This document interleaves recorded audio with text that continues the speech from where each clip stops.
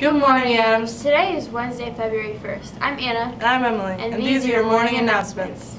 On February 7th, the Rochester Adams Band is having a fundraiser night at Bravo's from 5.30 to 8.30.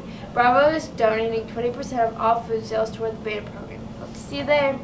The 11th annual Crosstown Showdown will be held this Friday, February 3rd at the arena on the campus of Oakland University.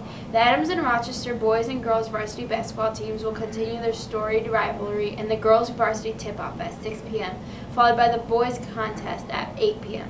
The cheer teams, dance squads, and pep bands from both schools will also perform.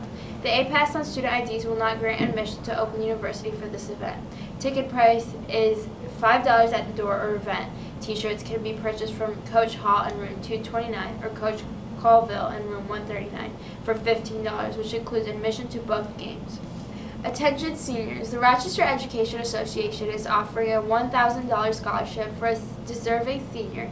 Applications are available in the counseling office. The deadline is April 17th. Spanish Club will be holding a bracelet sale to support the Pulsera project all this week and next week.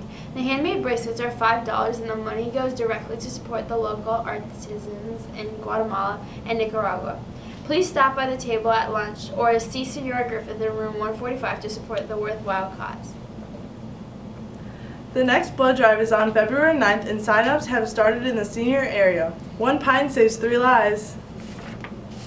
This week and next week, the book room will be open before and after school to check in books and novels. Come see Adams Theater present their Love Fest one-act shows, Your Good Man Charlie Brown and Cage Birds, on Wednesday, February 1st and Thursday, February 2nd at 7 p.m. in the auditorium.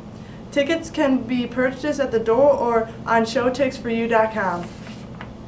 There will be a Science Olympiad meeting after school, school Wednesday in Miss Ozar's room, room 125 on the ramp.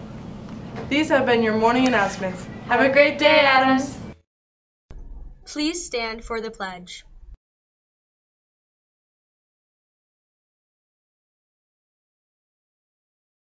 I pledge allegiance to the flag of the United States of America, and to the republic for which it stands, one nation, under God, indivisible, with liberty and justice for all.